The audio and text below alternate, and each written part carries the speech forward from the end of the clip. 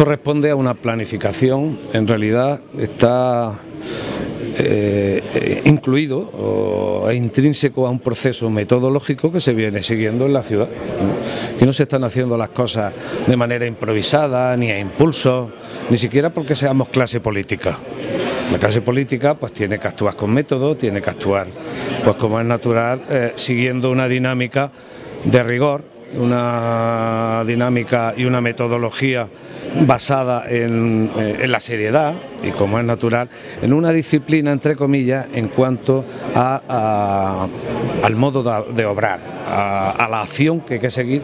para regenerar una ciudad y su tejido industrial. Esto dicho así, en teoría, pues puede parecer de una manera, pero luego hay que materializarlo, ese proceso metodológico. Si nosotros tenemos un diagnóstico muy claro, después de un análisis de nuestra ciudad, histórico y pormenorizado de las distintas áreas, como en esta, en esta iniciativa InvestCity, donde eh, se han establecido cuatro mesas, cuatro mesas para desarrollar iniciativas, para plantearlas y desarrollarlas posteriormente. Porque de ideas estamos todos muy bien. Escucha cada cosa por ahí, que es y a locubraciones que al final dices, pues sí, sí, está muy bien eso que acabamos de escuchar. Pero a veces la gente no se da cuenta y dice, bueno, y ahora eso que se ha dicho, cómo se hace, cuándo se hace, con cuánto se hace, quién lo hace, dónde se hace. Y sobre todo, ¿hay algún método, una dinámica que establezca los pasos para hacer las cosas? Las cosas no se hacen por sí mismas, ¿no? Hay que coordinarlas y tal. Eso es lo que estamos intentando hacer con Linares. Acordaros que siempre hemos dicho la necesaria sinergia, la necesaria colaboración y coordinación entre los agentes socioeconómicos de la ciudad. Eso era clave y es lo que hicimos hace 6 o 7 años, juntarnos todos. Poner todos nuestros recursos, todas nuestras cartas sobre la mesa. Nuestros recursos, nuestras eh, posibilidades, las potenciales, las reales y las potenciales, y de ahí que saliera esa sinergia entre eh, ayuntamiento, que tiene que actuar como catalizador, pero sí es importante que eh, coordine y conjunte las iniciativas que puedan surgir en la ciudad, es decir, la Cámara de Comercio e Industria, el Centro Tecnológico, todo eso también con el amparo como es natural y el arrope de la parte científica, tecnológica de la parte universitaria, como es natural, pero y de todos los otros elementos y, sobre todo entes o entidades que son necesarias para, esta, para conseguir este objetivo final. ¿Qué es lo que pretendemos? Pues a lo largo de cuatro bloques ir enumerando una serie de proyectos. Hace un año y pico tuvimos una reunión, esto es producto de una reunión hace un año y pico en Madrid con PGS. PGS es una aglutinadora de ciudades, pone aquí arriba, una serie de ciudades, son ciudades unas de mayor dimensión, otras, desde luego nosotros parece que somos los más, los más pequeñitos y eso es algo que nos anima y nos estimula. Pero sí es verdad que en ese reto que tenemos de futuro, de reindustrialización, de eh, valorización de, para captar inversión, que el objetivo final es captar inversiones. Pero es que para eso tenemos que crear ese huerto. Uno de los pasos era eh, generar o crear ese ecosistema de emprendimiento, el facilitar eh, un espacio donde las iniciativas y la, donde los emprendedores que tuviesen un proyecto empresarial, industrial, del carácter que sea eh, para Linares, tuviera donde desarrollarlo, tuviese donde ampararse y donde eh, asesorarse y donde incubarlo y también liberalizarlo si la instalación o la infraestructura fueran necesarias, que por eso se hizo una incubadora y un vivero. Y se mantiene ese nutriente de ideas y de eh, iniciativas empresariales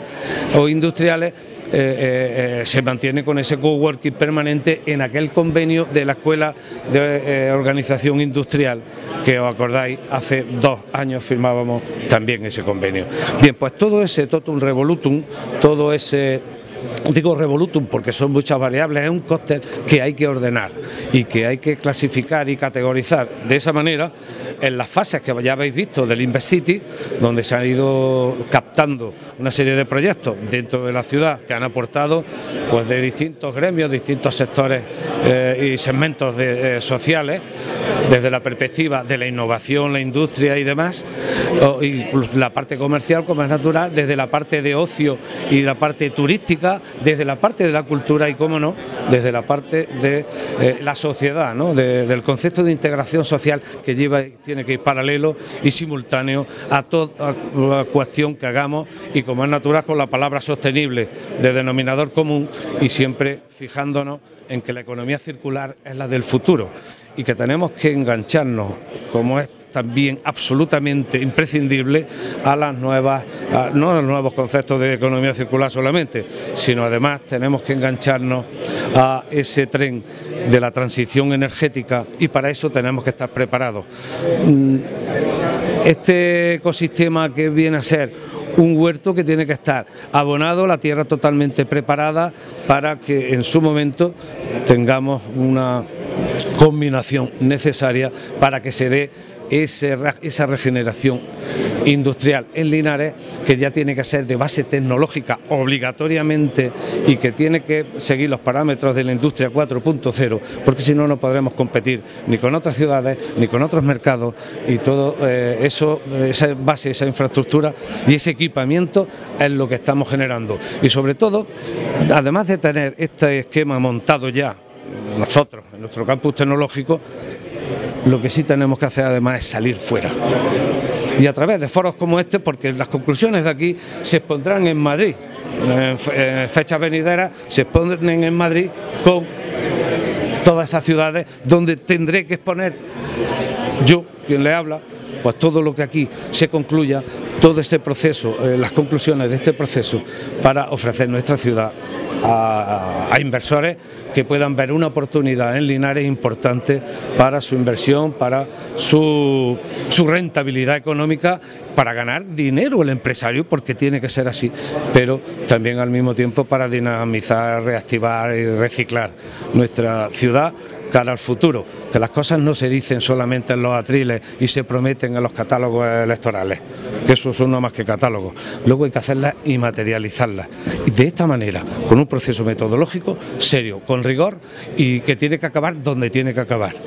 porque además si no hacemos esto así, jamás seremos, estaremos capacitados para competir, para ponernos al nivel de otros lugares y se nos irá todo la verborrea habitual que tenemos unos y otros, unos políticos y otros que no lo son, pero da igual. Efectividad y eficacia es lo que necesitamos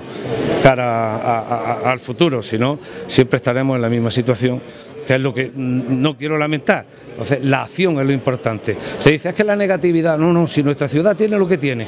Pero eso, eso no nos tiene que, que, enfundar de tal manera o encapsular en lo negativo, que no. Que tenemos capacidad, que tenemos conocimiento, que tenemos ideas, que sabemos cómo tenemos que hacerlo. Lo único que pedimos es que pongan a nuestra disposición los recursos que existan en nuestra ciudad, que es lo que se le pida a las administraciones. De ahí que el espacio de Santana, pues a mí me dé 100 patas en la barriga, en el cerebro y en todos lados, que no podamos utilizar ese recurso, pues porque sencillamente es de alguien de una administración autonómica que no lo,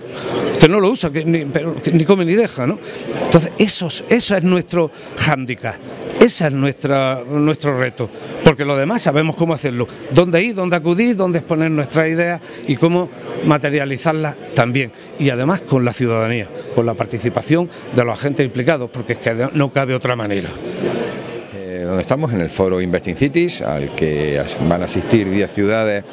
el día 26 de noviembre en Madrid, eh, Linares es una de ellas, y lo que vamos a presentar es un proyecto de ciudad, es decir, explicar eh, qué es Linares, eh, por qué es una ciudad donde invertir, qué potencialidades tiene, qué capacidades tiene, y eso parte de un hecho cierto, y es que, aparte de que podamos decir, pues bueno, que es una ciudad preciosa, que es una ciudad con calidad de vida, que es una ciudad cómoda, que es una ciudad que ofrece servicios de digitalización, servicios de empresas, que todo eso eh, ya va en nuestro portfolio, lo que queremos decir es que además es una ciudad que ya tiene un proyecto de inversión. Es decir, que si cogemos las conclusiones que tuvieron las mesas por Linares que ya organizamos y cogemos el plan estratégico que se realizó para poner en marcha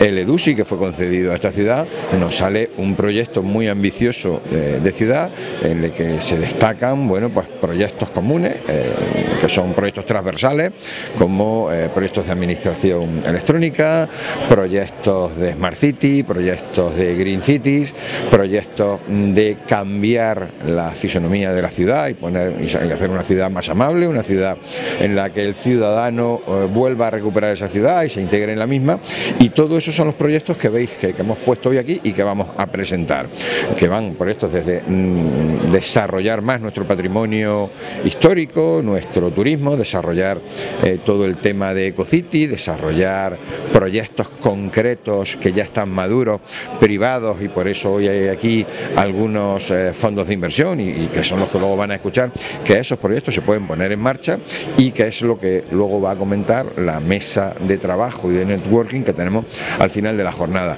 Yo creo que es un proyecto ambicioso, luego os vamos a dar, como comprenderéis, un, un portfolio, un cartapacio con todos esos proyectos que hemos desarrollado, con la inversión que necesitan y no olvidemos nunca que esto es una inversión pública-privada. La mayor parte de la inversión pública ya existe, por eso somos una ciudad atractiva, porque ya hay proyectos que se van a ir licitando en los próximos dos, tres años por parte del Ayuntamiento de la ciudad para ir eh, cumpliendo con ese itinerario que nos marcamos en el EDUSI y que coincide en muchos de los aspectos, como he dicho hace un momento, con las conclusiones que han tenido las mesas, que es las que hemos puesto en todos estos paneles que tenéis aquí y que vamos a ir explicando ahora con detenimiento en breve, en cuanto empezamos la jornada.